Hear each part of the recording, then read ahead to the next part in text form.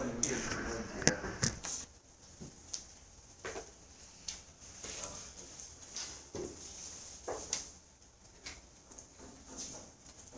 好，我们再往下看哈。嗯，我刚刚在想关于他讲的这个性，我有两个小问题，一个是他们好像没有打算讨论性善还是性恶，他们有打算讨论性本善还是性本恶吗？第二个是，他说要成性也好，要主性情也好，他们有想要讨论这个要成的性最后会是一个怎么样的性吗？他们会不会分说，比如说有男有女，有有钱人有有穷人，有居官者有不居官者，他有打算讨论不同的人会不会最后要成的性是一样的还是不一样的？嗯，好，是这样。第一个，呃，基本上他们都认为性究竟是善的，啊，那这个基本上在道学理学的传统里头，只有去讨论说性是无善无恶的呢，还是性是究竟这么一点，因为呃很难的这个事情，人性很深为一层又一层，啊，这个事情难难难说的。或者说开玩笑说，这个你说人性到底怎么样呢？你们将来当父母的时候，你给小孩子啊，你是用性恶说他，还是用性善说教他？对不对？我保证你是会用性善说教他的。你看卡通影片都演什么样的一种状态？一堆可爱的、善良的，对不对？啊，这些各种动物啊，各种事物，人原来喜欢这种状态，所以，我只能说，这是性善说对于人性是有很大的吸引力的。当然，你也可以有很多的反驳，说人的欲望哪里去得了？啊，从小就有自私自利，哎呀，反正这个见仁见智，好吧？这第一点，听人就听人说，但他们基本上都是相信人性是是就近来讲是可以的，是可以完成的啊。既然是这孟子所说性善利是乃若其情，亦可以为善，啊，就近来讲是可以为善的啊，这就是人性本善。不是说人现在都善，没这回事啊，不是这个样子。就是人的现存的状态毛病多了啊，这个是稍微有点人事经验的都知道。而且坦白说，毛病诸位比你们现在知道的多。你们现在对于人性的险恶毛病知道的少，我们看到比你们多太多了。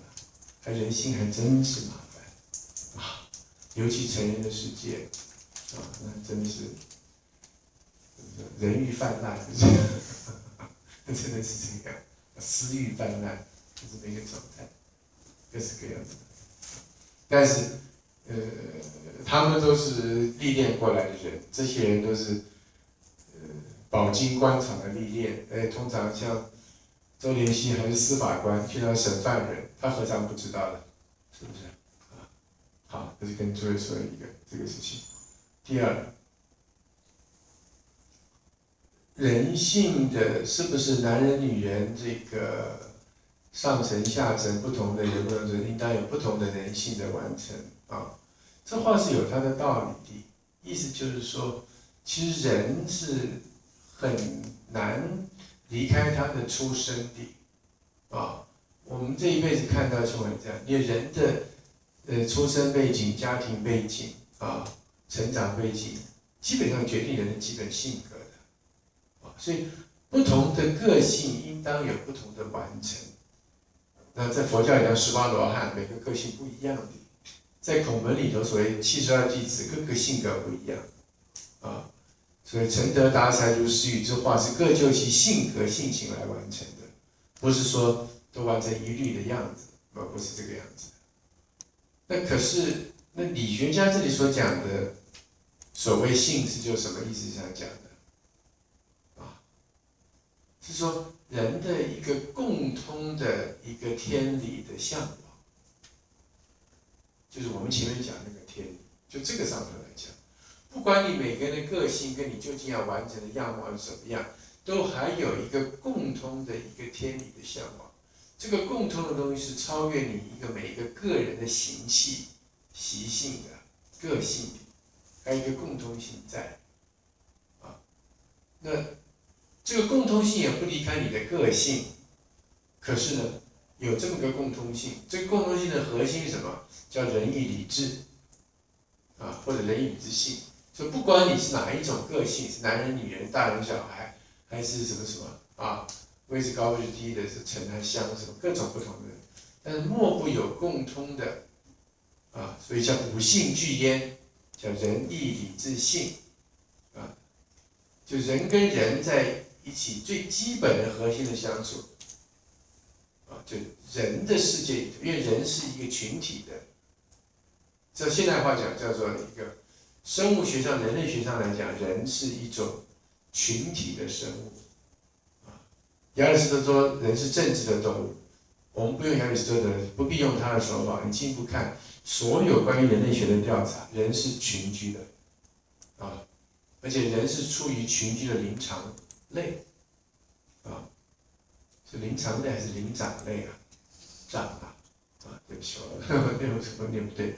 灵长类，就灵长类的这个动物啊，啊，灵长类的动物基本上还都是群居的，所以这种群居动物有它一种彼此群居的性，啊。叫仁义礼智信，它不是这样就帮他相相处，这就是他的性上说啊。而我们现代人都强调个性，个性的完成，尤其从 Romanticism 底下是强调我们每一个个体的 individuality 的完成。我最特殊的，还不是说我的个性啊，因为中文的那个个性哈，意思浅，英文的 individuality 的意思深。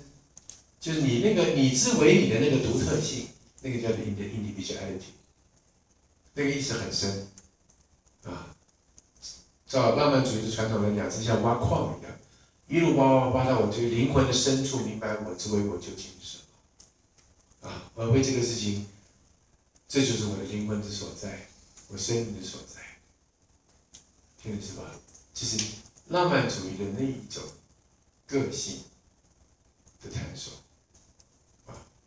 这个道理跟我们这里讲这个道理也不见得冲突，啊，我那个问题就引申出去了，复杂，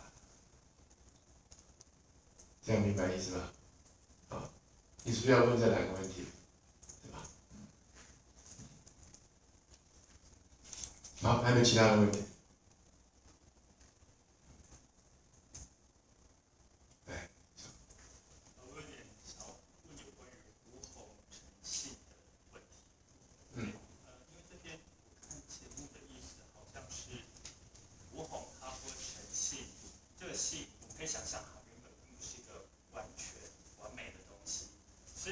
你用心去修它，它怎么变成性，也就是后天才会。你说前先的意思还是？前先生的意思。呃，信义完成以后，哎，不对，前先有这个意思吗？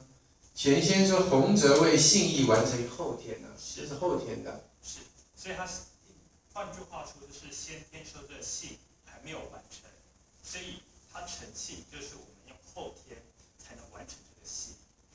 我以为前先生这个意思，因为跟高老师你的意思好像是信，不要像朱子的意思，信天生就已经。完成了，完成以后，我们心只是去，呃，我想想该怎么说。不是这样，是说哈，我的意思是这样，不是两条路子，朱子是一条路子，胡红是另外一个路子。朱子胡红是主心上讲的，啊，他的心跟性是以心为主的，是心要来成这个性，所以心，因此心要完成，心来成这个性的话。性是成于后天的，对吧？所以性变成是一个呃未知的状态，这是胡红的意思。所以后来就传三性日生日成嘛，讲心比较偏就心上讲的，最后都是这个样子，这样明白意思吧？啊，道是一本，这个一在何处？在胡风来讲的话，一在心上；在朱子来讲的话，其实一在理上。但朱子知道光这样讲也不行，所以变成心从性起。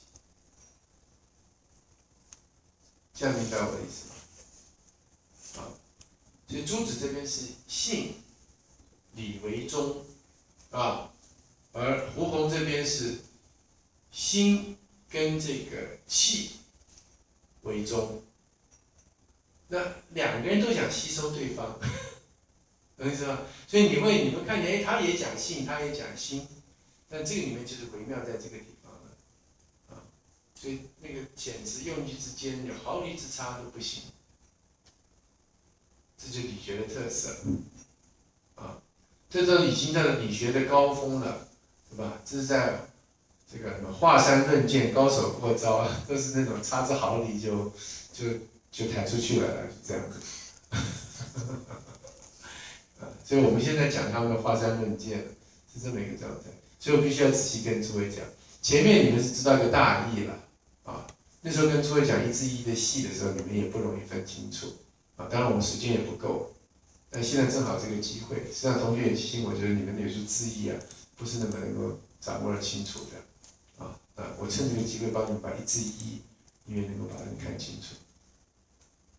啊这是个非常好的一个非常重要的一个辩论，就是所以前线也花了大功夫在这讲，反而张南轩的部分呢讲的很少，呃，南轩的学问后来跟朱子重流了，因为太多好说，啊，是真正重要性的是，这个是两条路的辩论，这两条路其实各有道理，这样还有没有问题？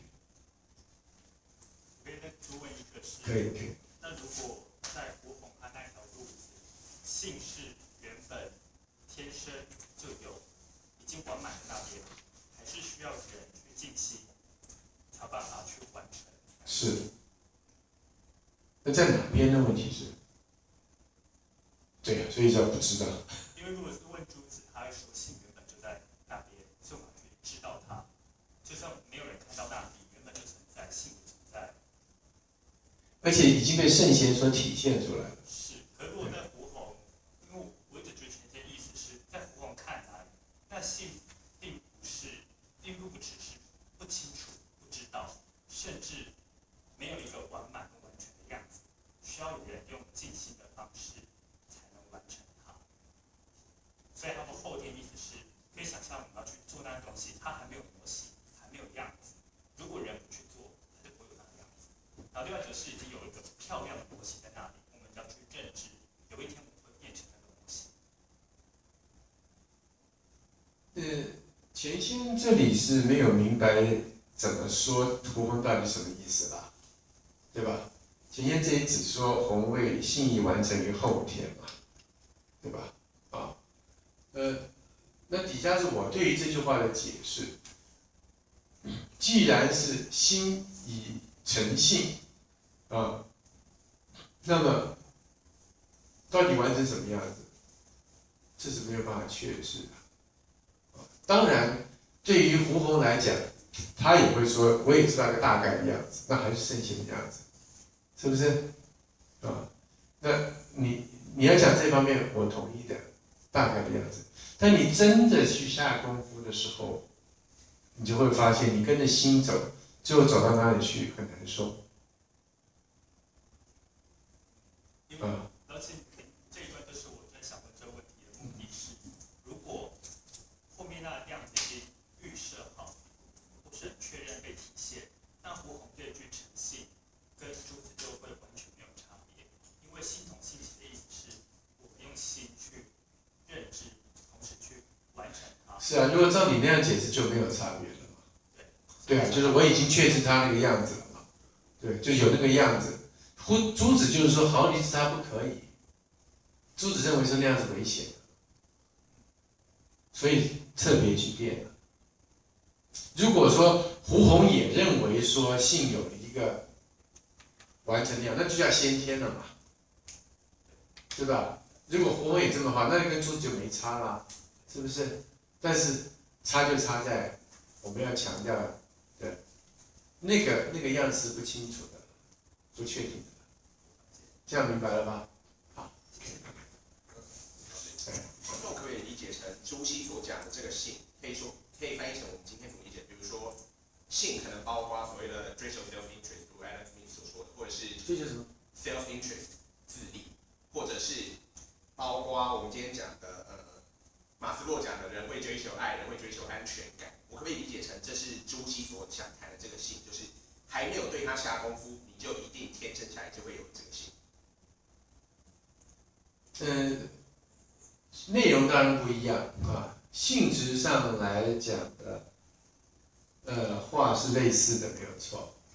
若论其先天性的话，啊，当然朱子认为这种 self interest 不是人最终的先天本性，OK，啊，呃，他会认为你刚刚讲那个，譬如说心理学家啊所说的这种对 love 的追求是人的本性。但就论其性质来讲的话，没有错，啊，现代会认为这个，譬如 self interest 是一种先天本性，就跟朱子认为这个人以理智治人的先天本性是有类似的。地方，啊，若论其先天的话，那对，论其先天的话。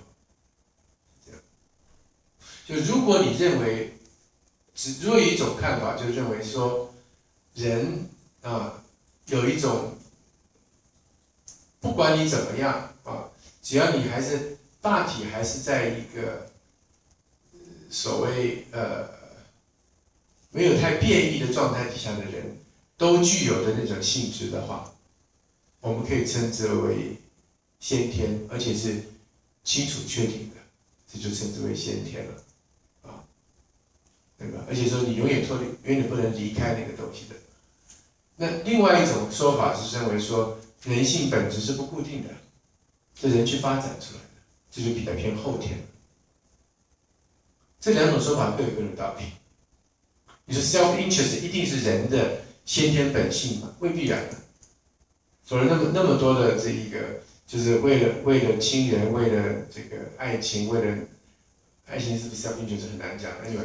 至少为了亲人，为了国家牺牲的那例子就算什么？那而且为什么大家还特别称赞、歌颂这个这些事情千古流传呢？对不对？那屈原不是个疯子吗？你纪念他端午节，你神经病而已，能不违背人性了，对吧？诸如此类嘛，对吧？啊，所以到底什么是人性，这就很难说。所以 self interest 是不是就是人性？人性的究竟也很难讲。所以人性到底是开放的呢？还是说，其实它有一个所谓先天的确切的内容的本性，争执点在这个地方上没有错，先天跟后天在这个上。那现代人的见解跟古人差之非常的远，对吧？啊，这古典的人性观跟现代人性观差很远，因此古典的世界跟现代的世界也差很远。看诸位喜欢哪个世界，你自己选。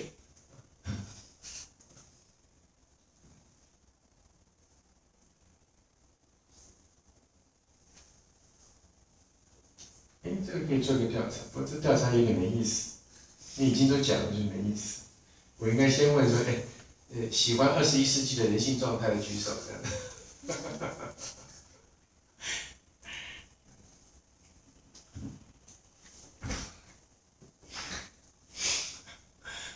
我恰恰是因为不太喜欢我们我们那个时代人性状态，所以才会去念这些东西，也要让他抵制这样子。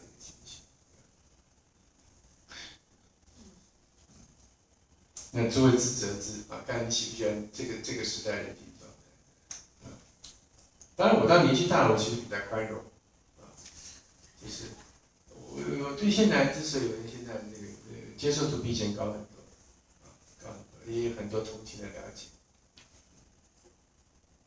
好，我们再往下讲啊。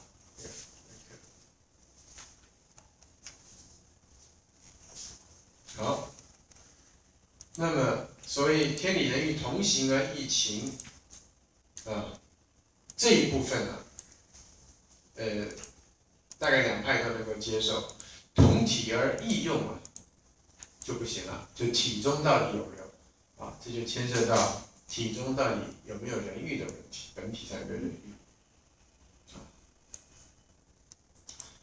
那么，嗯，所以把一切的善啊，前先这一段后头讲啊，尽归诸先天；一切的恶，全归于后天啊。虽然像是从张载气之性、义理之性的分别，其实不是张载的本意啊，因为张载固然有气之性、义理之性的分别，可是呢，张载只是太虚即气，朱熹主张理在气中，两内就认为不同。他理论不同，我们之前有详细讲过，啊，所以张载的这一个，呃，义理之性，其实讲的是一种太虚、一种清明无碍的状态，啊，太虚太和的一种状态，跟那个是理的状态不一样，啊，所以张载其实讲的是一种气性最好的状态，跟朱子有所不同。那颜渊呢，从气质性这一点上攻击朱熹。啊说是只讲那么一个，呃，义理讲到那样子的一种，呃，不近人情的状态，对，可以杀人，他自己当中经历过那个种种的经历，这是因此关于理跟气之间的辩论，就后来一路衍生到今天，所以这两派的这个分野很重要，就整个近代思想史。从朱熹底下一路有这个分野，啊，知言又曰啊，好恶性也，小人好恶以己啊，君子好恶以道，察乎此的真人亦可知。小人好恶以己，君子好恶以道，这个没有问题啊。可是好恶性也，这朱子就不这么说了。好恶不信的所有，只为性则不可。好恶物也，好善而恶物啊。物之者也，换言之，好恶是一个物物者是也。这是就气上讲，就情上讲，好善而恶，这个是理，理是就性上讲。所以朱子始终就认为性是就理上说理，啊，他不喜欢就气上讲，啊，所以好恶是性之所有，但不能说好恶就是性。那在我们来看，好恶性也很合理嘛。好恶不是人性是什么呢？是不是？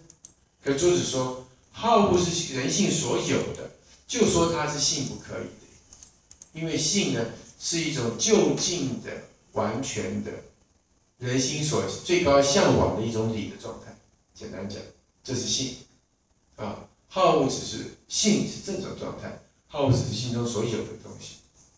这个分别，所以本质上还是个理气的一个分别。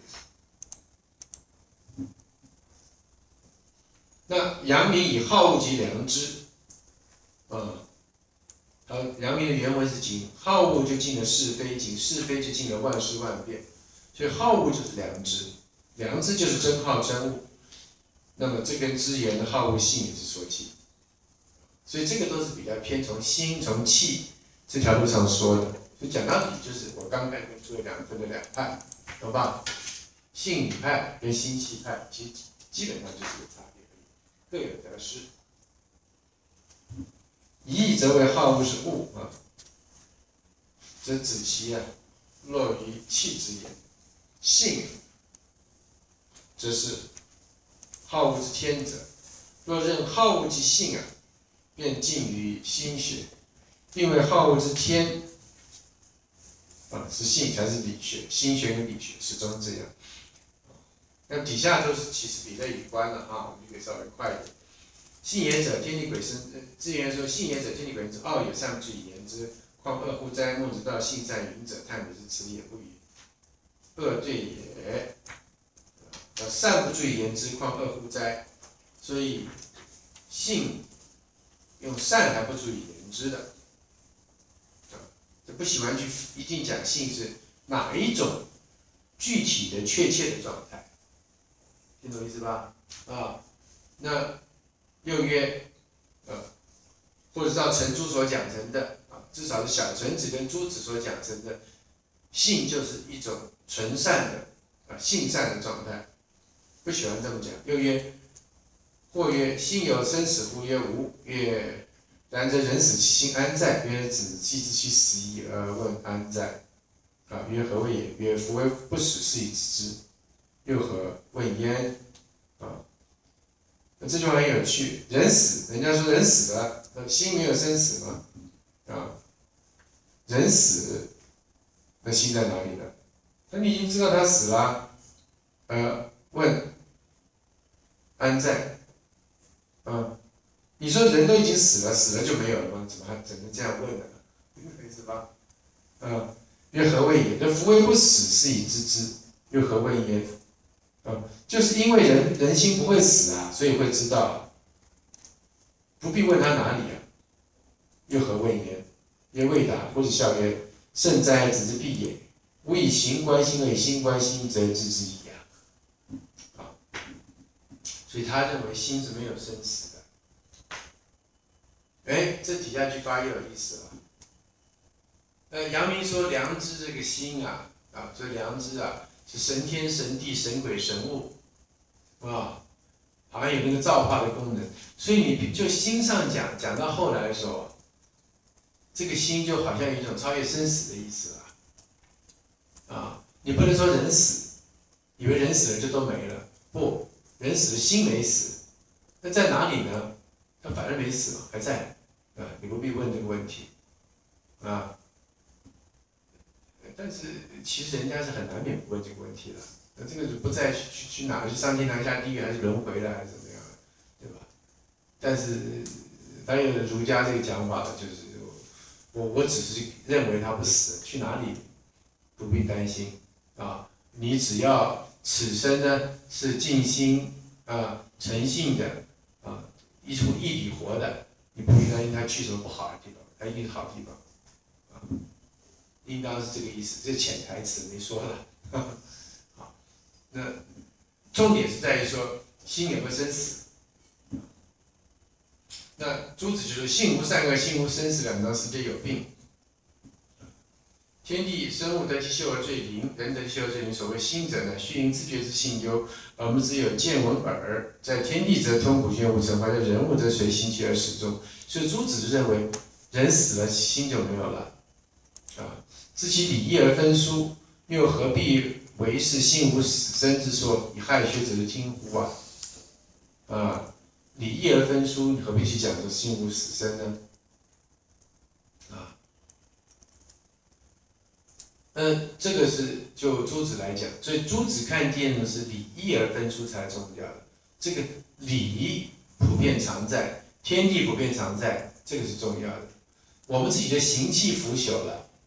啊，心也随之而这个灭了，这个没有关系。在朱子来看是这个样子。但讲心学的人 讲来讲不喜欢这么讲，心讲心学人讲久，这个心都好像变得比较伟大，对吧？就我刚讲阳明跟胡风都有这个味道。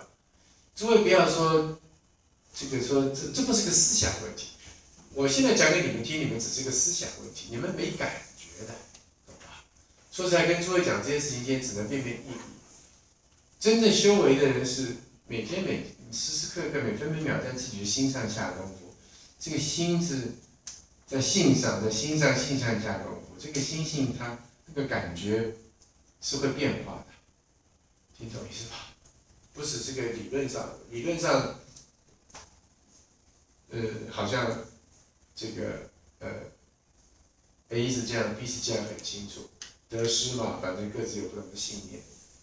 我在跟你讲的远不是这样，讲心学的，这个心会越来越重要，越来越伟大，有这个倾向，所以会变成心无心无死生，会到这个地步啊。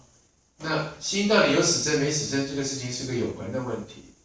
我们现在唯物论的世界都认为心当然死就没有了。可是即使如此，全世界绝大多数人还是相信有灵魂，都是信教。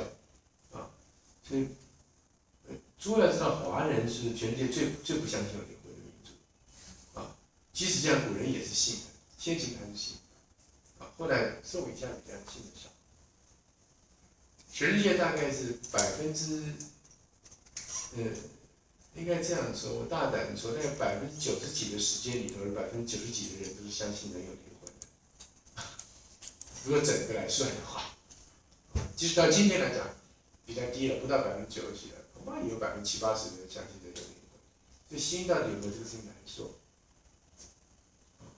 这个事情难讲，到底有没有死生，难讲，我觉得很难定论。不过这不必讨论，这这不在我们课程范围之内，啊，好，所以也不能说胡洪这个想法就一定没道理，哪个想法没道理，这很难说的，啊，我们现在现在中国哲学史都把那就是说他们就是把那个唯心的干都打倒打死了，就是这是二十世纪的唯物史，唯物史观不必了。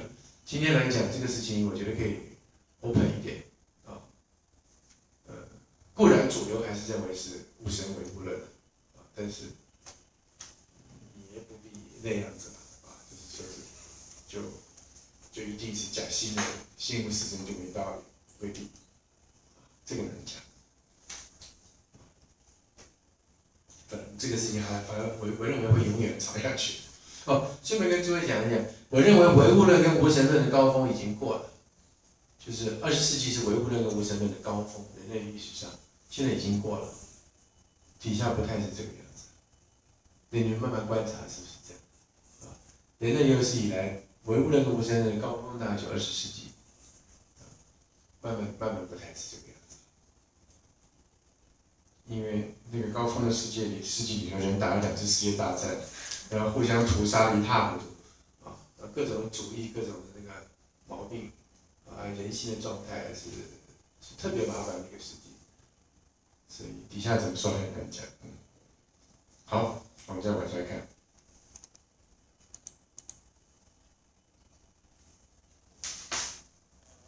而且第三次世界大战没有打的打起来，主要原因是因为怕互相毁灭嘛，否则美国、苏联早打起来。好，我们再往下看。嗯，所以心学跟性学啊，所以讲这个一切关键就是啊，讲到所以就是心跟性这两个东西，呃。就人生顺人生论上来讲，是心性；就这个宇宙论上来讲，是气。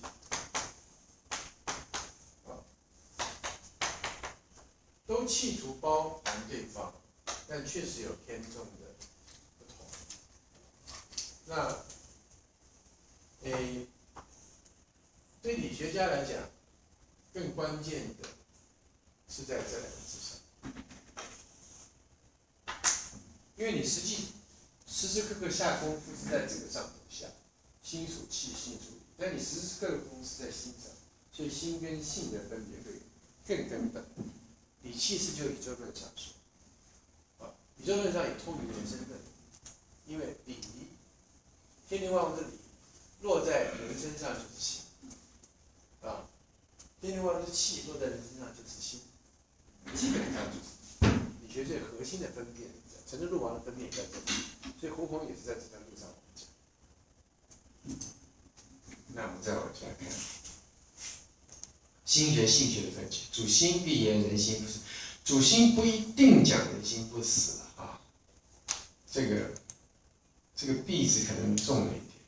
其实，即以中古今而言，王者曰：“无善无恶，心之体。”就倾向一下，比较容易讲人心不死，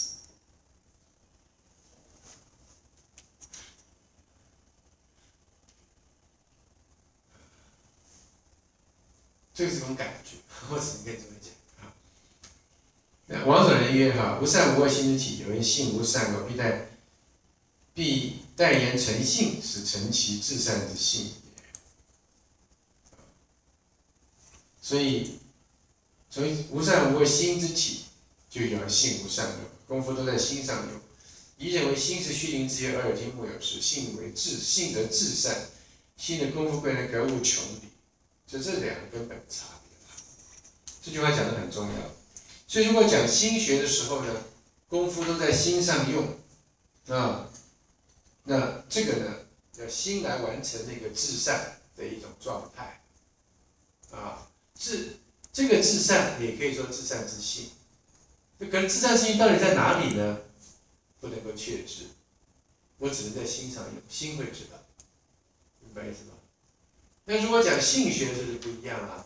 性学的时候呢，心是虚灵知觉，所以朱子做这个大圆章这明明的明德也是心是虚灵不昧，以具众理应万事。啊，虚灵知觉怎么样呢？去可以知道那个自信、至善之心在哪里。心的功夫就是贵人格物穷理了，所以会这么看重格物穷理。心能够知，所以在这条上来讲，比较近于孟子所讲的静心知性。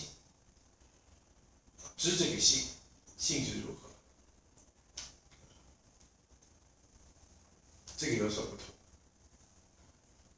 差别开始甚为甚为这个微妙，但稍微主主于心跟主于性的就不一样啊。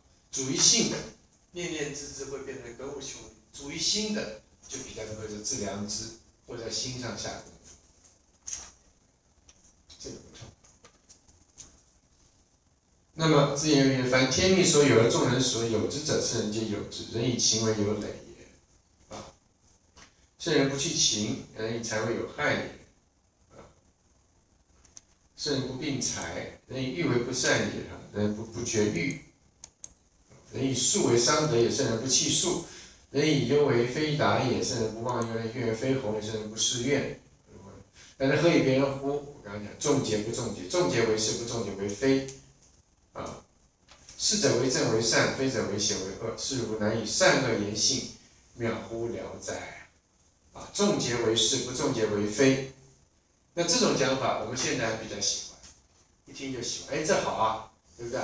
这些东西我都有，哎，这没有不好啊，对吧？我只要众结就好，对吧？现在呢，然后然后朱子就说：“此亦性无善恶之意，然不知所众之结。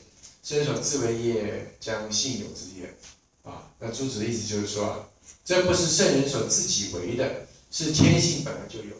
圣人也要符合人本来就有的天性，就有一个明确的天性在那里，而这是可以格物致知而明白的，而不是说我在每一样事情当中去想我这个东西重不重结，听懂意思吧？啊。那现在一听就讨厌，因为觉得说有一个固定在放在那个天性在那要我到达，我烦死了，对不对？啊，这是天理杀人吗？基本上这么一个分别，啊，好，那底下讲，金南更喜欢陈亮，我跟你讲，那个，你 看讲这个。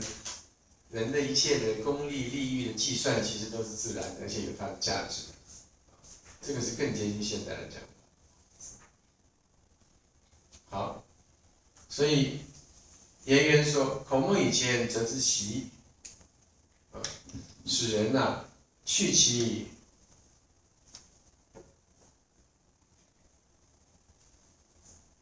呃所本无；成诸以后，则之气。”使人正其所本有，则之习；使人去所本无，说习气啊，所谓性相近，习相远。说习性也不好，去所本无，说本来没有。成出以后，则是气，使人正其所本有啊。知言点出情财欲速幽怨，皆人所本有，不必正而去之。至于重结与不重结，依王用所人说，则为心之良知，自知之。此人心却性权之别，性属仙属天，心属人，啊，那这个心权流弊，则尊人而灭天。因此啊，其实一个是编就天讲，啊，一个是编就人讲，这个确实也是如此字，天。这个偏叫偏讲，偏叫普遍上偏讲，心也偏就于个人来讲，所以讲这条路的亲切，但容易有毛病；讲这条路的呢标准严明，但容易让人觉得不亲切。基本上这条路亲切跟贴切，确实各有得失。那至于。这个成住以后，则之气，使人正其所本有。这话就是流弊啊，因为朱子并没有说是气都是可证的啊，因为心也属气。可是你这样讲分天理人运的时候，心属气嘛，朱子是很看重心的啊，也是心学大师。可流弊就会说我偏重性跟理了，那么我这个气岂不是就是我的行气害得我今天没有办法达到这个天理的状态，使人正气。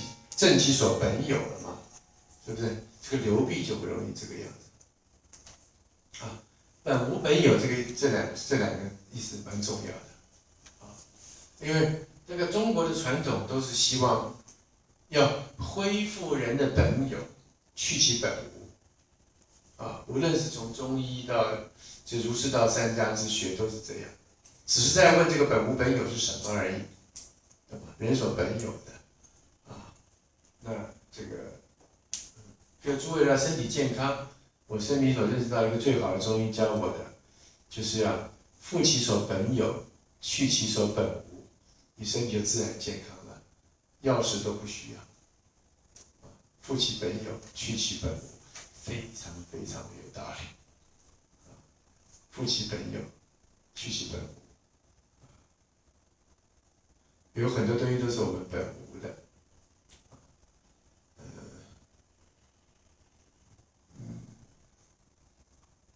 譬如说，这个这个人很多的毛病，是因为太紧张来的，啊，现在生活的紧张忙碌，紧张是人是本有的吗？小孩子天生不会那么紧张的，对吧？就你要能够去掉你紧张的毛病，你很多的慢性病都没了。同理的，你要去掉你这个害怕的毛病，啊，去掉你那种事情还没来就在那里，在那里担心的，啊，的毛病，啊，还有你心里头事情还没来，你就会先有一种，各式各样的花样，人的花样很多，各种的花样。就今天一样的事情来，诸位反应都不一样，为什么呢？因为每个人心理的状态不一样，对吧？这都是习性。那照医家或者修养家的说法，都是要去掉你这些不好的习性，这样你就健康了，你的心理也健康，身体也健康了。所以都是要复其所本有，去其所本无。那只是说这本有本无是什么？呃，如果说就像这个陈述学的流弊，就是去人欲去到最后说本有的都不要了，那可不行，那就反了，是要去掉本无的，嗯，你自己本来并不喜欢的那些种种的啊人欲的状态，那是去其本无。好，我们讲这些休息一下。